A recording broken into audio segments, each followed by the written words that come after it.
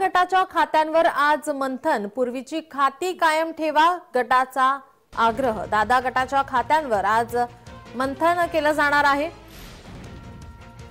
पूर्वीची खाती कायम ठेवा असा गटाकडून आग्रह केला जातोय. आपले प्रतिनिधी कुणाल भोयटे आपल्यासोबत फोन वरून जोडलेले आहेत. कुणाल काय अधिकची माहिती?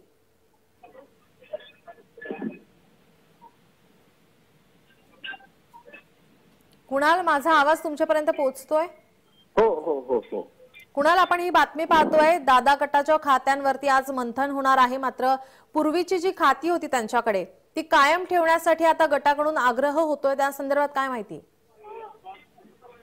निलम एकंदरीतच मंत्रिमंडळ विस्तार कधी होणार? ही चर्चा संपूर्ण महाराष्ट्रामध्ये रंगली होती. मात्र आता हे नवीन भूकंप राजकीय भूकंप आल्यानंतर आता अजितदादांकडे कोणती खाती राहतील किंवा राष्ट्रवादीच्या नेत्यांकडे कोणती खाती राहतील याकडे सर्वांचं लक्ष लागू नये.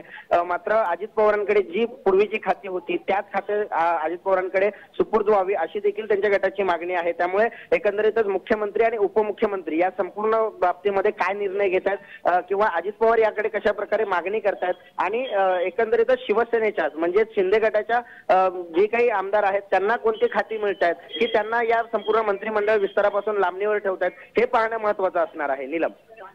धन्यवाद कुणाल तुम्ही दिलेल्या या सविस्तर माहितीसाठी. मंत्रिमंडळ विस्तार लवकरच होणार आहे आणि आता दादा गटाकडून पूर्वीची खाती कायम ठेवा असा आग्रह होतोय.